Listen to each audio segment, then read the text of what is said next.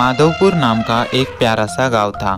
उस गाँव में चिंटू और पिंटू नाम के दो छोटे बच्चे रहते थे। उनके पास एक बड़ा हाथी था। तभी वहाँ पर बक्कू और जॉनी आ जाते हैं। अब यह मुसीबत कहाँ से हमारे गले पड़ गई? मुसीबत नहीं चिंटू मैं तुम्हारी खुशियों का काल हूँ। साले चिंटू हमने क्या दो चार गाँव वालों को परेशान कर लिया? तो तुमने हमें बहुत सताया ना? आज तुझे नहीं छोड़ेंगे हम लोग। तुम दोनों हमारे गाँव के गुरुजी को परेशान कर रहे थे, वो हमें पढ़ाते हैं। ये तो गलत बात है। सही गलत का क्या आचार डालू मैं, चिंटू? आग बरसाओ रोबोट उस पर। तब वो रोबोट उन दोनों पर आग बरसाने लगा। उस आग से उस हाथी को बहुत तकलीफ़ होने लगती है। वो यहाँ वहाँ हिलने लगा। इसके कारण चिंटू पिंटू नीचे गिर जाते हैं। हाथी यहाँ वहाँ भागने लगा। वो रोबोट भी चिंटू की तरफ़ आ जाता है और उन दोनों को मारने लगता है। और रोबोट बेहते बेदर्दी से उन दोनों को मार रहा था। अरे नहीं पिंटू और हाथी भागो। तब चिंटू पिंटू और उसका हाथी वहाँ से भागने लगे और दूसरी तरफ़ बकू और जॉनी ज़ोर ज़ोर से हंसने लगे। यस आखिरकार वो दोनों जंगल की तरफ़ चले ही गए आज कोई भी गलती नहीं होनी चाहिए। वहाँ से भागकर चिंटू पिंटू और उसका हाथी जंगल में आ जाते हैं। वो दोनों काफ़ी उदास थे। जॉनी और बकू नहीं छोड़ूँगा तुम्हें एक दिन। तभी वहाँ पर कोई तो उनकी तरफ़ बॉम्ब फेंक देता है। वो बॉम्ब वहाँ पर फट जाता है और चारों तरफ़ धुआँ फैल जाता है। थोड़ी देर बाद वहाँ से धुआँ गायब हो जाता है, पर वहाँ पर उनका हाथी नहीं होता। चिंटू पिंटू को क्या हुआ है कुछ समझ नहीं आ रहा था। अरे यार चिंटू, अब हमारा हाथी कहाँ गया? अभी जो धुआँ हुआ था, उसी में हमारे हाथी को किसी ने तो किडनैप कर लिया पिंटू। लगता है दुनिया की सारी मुसीबतें हमारे ही गले है चिंटू। पिंटू यार हम इस दुनिया में इतने अकेले क्यों है? हमारी कोई भी मदद नहीं करता। भगवान जी, आप तो मदद कीजिए। मदद कीजिए। मदद कीजिए। तब वो दोनों नाराज़ होकर यहाँ से जाने लगे। तभी आसमान से दो रोशनियाँ ज़मीन पर गिरती है। चिंटू पिंटू डर जाते हैं। वहाँ से दो रोबोट निकल के आते हैं।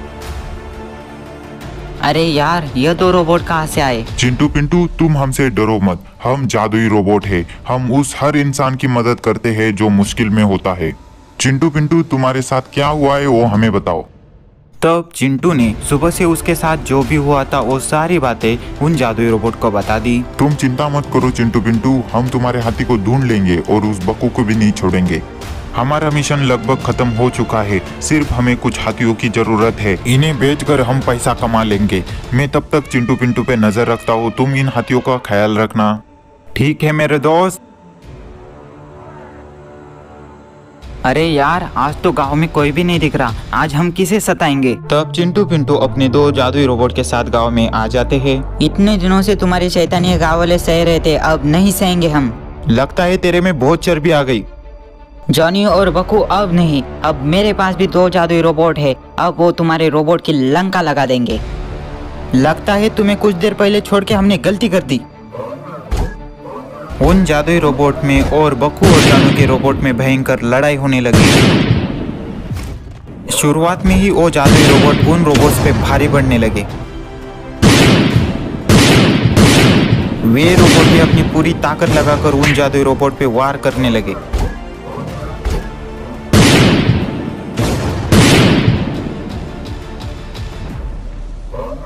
जादुई रोबोट की जादुई ताकतों की वजह से वो रोबोट चुटकी में ही हार गए जॉनी बको अब तो समझ जाओ बुरे काम का नतीजा हमेशा बुरा ही होता है। चिंटू हमें माफ़ कर दे इतना सब कुछ होने के बाद भी तुम हमसे अच्छे से बात कर रहे हो। आज से हम भी सबके साथ अच्छे से रहेंगे। तो बक्कू और जॉनी वहाँ से निकल जाते हैं। अरे नहीं इन दोनों के पास इतने पावरफुल रोबोट कहाँ से आ गए? मुझे लग ही रहा था हम पे कोई ना कोई नज़र रख रहा है। तो तुम हो। अरे नहीं उसने तो मुझे देख लिया। चलो भाग लेता हूँ यहाँ से। तब वो आदमी वहाँ से भागने लगा पर चिंटू का रोबोट उसे पकड़ लेता है। मुझे घुटनों पर बिठा के तुम लोगों ने अच्छा नहीं किया चिंटू पिंटू। तुम हमें सीधे तरह से बता दो कहा है मेरा हाथी? हम तुम्हें छोड़ देंगे। तब वहाँ पर बड़े बड़े दो रोबोट आ जाते हैं। लगता है तुम्हें मार कर ही सब कुछ उगलाना पड़ेगा। देखते हैं किसमें है कितना दम।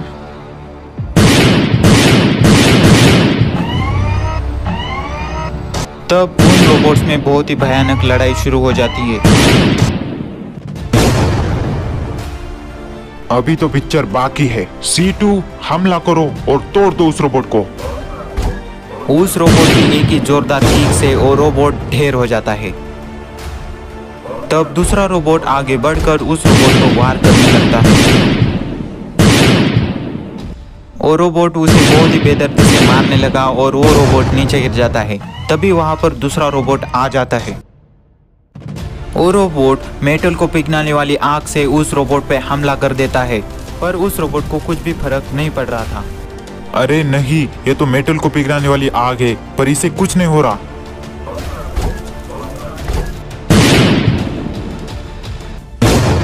जादुई रोबोट और वो रोबोट भी एक दूसरे को बेहती बेदर्दी से मारने लगे।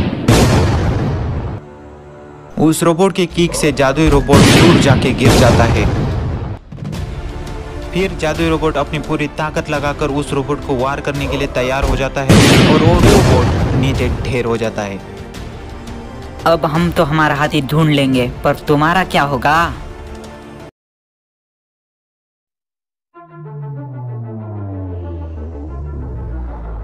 यह अंतरिक्ष में, तीन लोगों भाइयों की बहुत ही खतरनाक लड़ाई हो रही थी। उसमें से जो बड़ा भाई था प्राइम, वो उनके प्लेनेट का राजा था। यह तीनों यहाँ एक मिशन के दौरान आए थे, लेकिन उसमें से दो छोटे भाई थे, उन्होंने प्राइम को धोखा दे दिया और उसे धोखे से मारने लगे।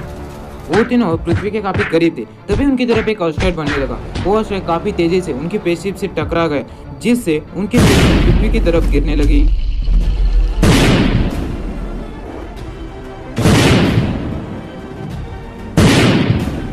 उन तीनों में से जो दो छोटे भाई थे वो पेशिप के पास जो नदी थी उसमें गिर गए। या दूसरी तरफ़ प्राइम काफ़ी तेज़ी से नीचे गिर गया जिससे उसका सिस्टम खराब हो गया था। अगले दिन उसी जंगल के पास उदयपुर नाम का एक गाँव था। उस गाँव में उस दिन एक ट्रैक्टर पलट गया था। सरपंच जी अब मेरा ट्रैक्टर पलट गया हम क्या करें? अरे राम राव तुम इतनी चिंता क्यों कर रहे हो? हमारे गाँव में चिंटू पिंटू है वो तुम्हारा ट्रैक्टर दो मिनट में सीधा कर देंगे। मैं अभी उन्हें बुलाता हूँ। सरपंच जी आपको हमें बुलाने की ज़रूरत नहीं हम आ गए। लो आ गए चिंटू पिंटू। अब तुम्हें डरने की कोई ज़रूरत नहीं। सबका यकीन चिंटू पिंटू पे था क्योंकि वो हमेशा गाँव वालों की मदद करते थे अपने रोबोट के साथ। तब चिंटू का रोबोट आगे बढ़ने लगा और उसने अपनी पूरी ताकत से उस ट्रैक्टर को सीधा कर दिया। किसी की मदद करने के बाद बहुत अच्छा लगता है पिंटू बहुत मज़ा आता है। सही कह रहे हैं पिंटू तो हम ऐसे ही सबकी मदद करते रहेंगे।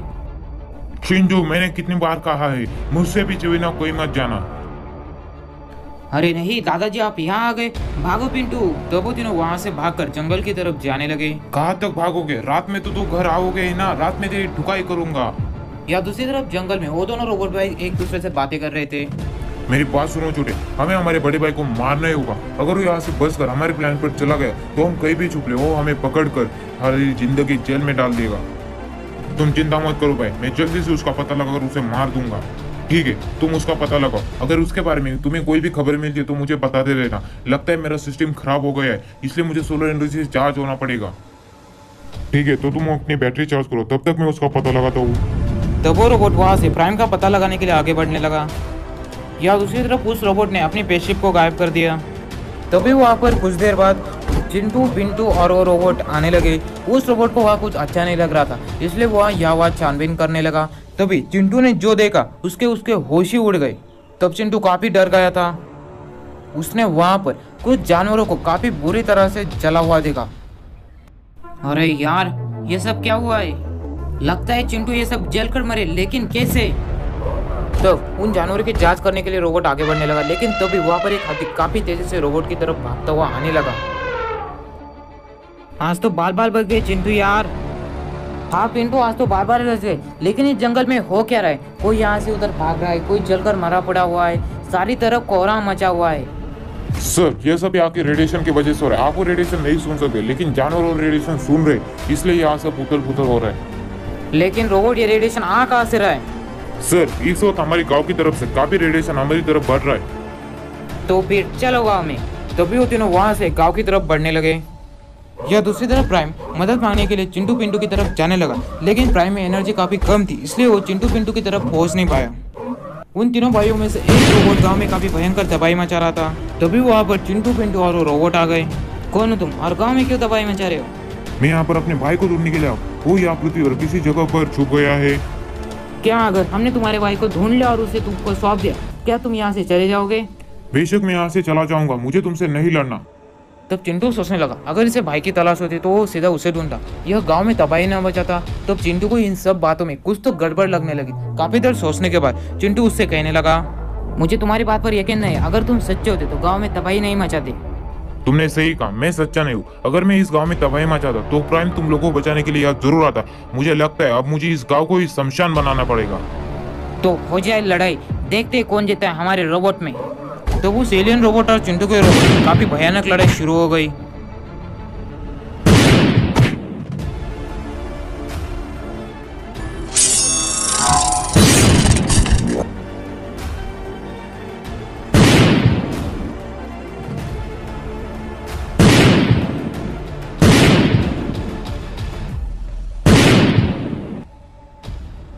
आखिर में एलियन रोबोट ने चिंटू के रोबोट को नीचे गिरा दिया।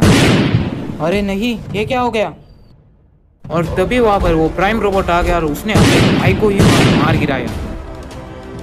अरे नहीं, अब यह कौन है? तो प्राइम के अंदर भी ज़्यादा एनर्जी ना होने के कारण वो नीचे गिर गया। कुछ देर बाद, तब चिंटू पिंटू प्राइम को लेकर अपनी लैब में आ गई। कौन हो तुम? और तुम यहाँ क्या कर रहे हो? और तुमने उस रोबोट को क्यों मारा? तो प्राइम के भाइयों ने उसके साथ जो भी कहा था, उसने वो सारी बातें चिंटू को बता दी। सच में प्रेम तुम्हारे साथ बहुत ही बुरा है। हम ज़रूर तुम्हारा साथ देंगे। मुझे अब एनर्जी की ज़रूरत है। मेरे अंदर अब ज़्यादा एनर्जी नहीं बची क्या तुम मुझे कोई एनर्जी का सोर्स दे सकते हो? ज़रूर प्राइम हम तुम्हें वो एनर्जी सोर्स दे देंगे। लेकिन तुम्हारा वो दूसरा भाई कहाँ है? उसे चार्ज होने के लिए सोलर एनर्जी की ज़रूरत है। इसलिए वो यहाँ की सबसे ऊँची पहाड़ी पर होगा। जैसे ही मेरा रोबोट चार्ज होता है हम तीनों यहाँ की सबसे ऊँची पहाड़ी पर चले जाते तब तो तुम यह स्लैब में अपनी एनर्जी बढ़ाओ। ठीक है लेकिन वहाँ संभाल के जाना।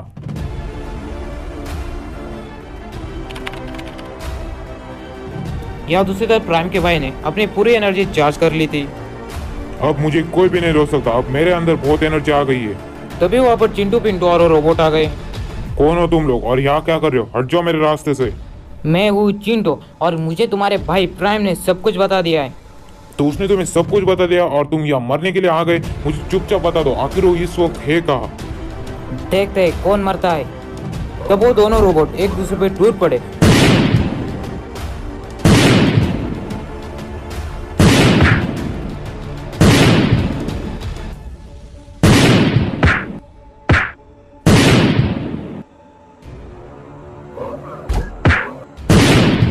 उन दोनों में काफ़ी टक्कर की लड़ाई चल रही थी लेकिन आखिर में उस एलियन रोबोट ने अपनी ताकत से चिंटू के रोबोट को हरा ही दिया। और तभी वहाँ पर प्राइम आ गया।